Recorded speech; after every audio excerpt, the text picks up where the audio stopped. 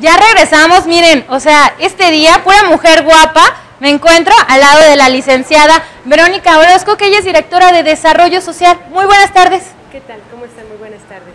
Licenciada, ¿cómo se sienten estar en más de... ¿Tiene miedo que la pongamos a cantar o hacer algo? Mm, no me gustaría cantar. ¿Qué le gustaría hacer? Me gustaría hacer una invitación.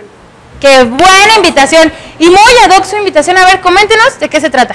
Bueno, todos sabemos que los municipios, los estados del norte de la República, pues se vieron afectados severamente. Eh, la invitación es a todos los ciudadanos del municipio de Celaya para que pues nos sumemos una vez más. Siempre lo hemos hecho, siempre hemos mostrado que somos un país muy solidario y lo hemos hecho con otros países. Creo que una vez más lo vamos a hacer ahora con algunos familiares de nosotros, con algunos eh, conocidos nuestros o bien con algunos compatriotas nuestros.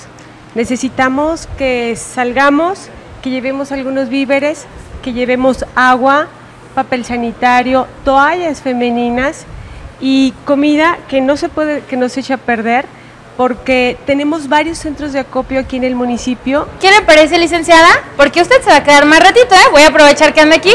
Vamos a ver, nuestro reportero Mario salió a las calles para ver si la gente ya está ayudando o no, porque muchos dicen que no hay información y no saben a dónde. Pero ahorita les va a resolver esa duda y vamos a ver qué mal se ve la gente diciendo no.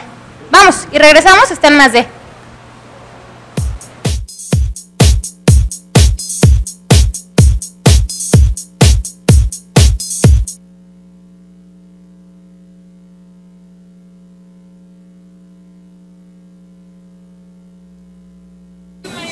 Hola, ¿qué tal amigos de Más de? Pues en esta ocasión salí a las calles a preguntarle a la gente si ya tendieron una mano amiga a nuestros hermanos necesitados de Nuevo León. ¿Usted ya los ayudó? Vamos a ver lo que nos respondieron.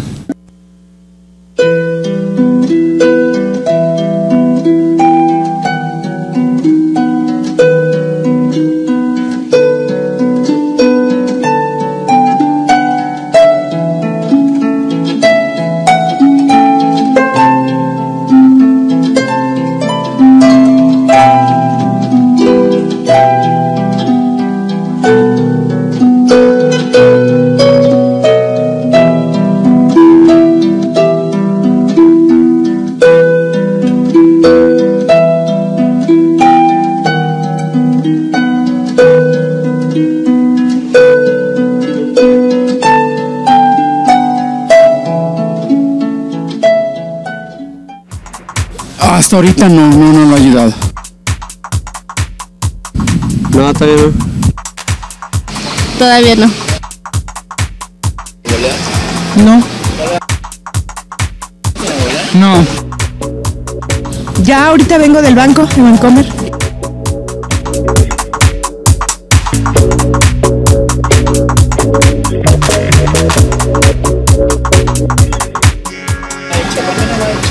Porque no tengo recursos.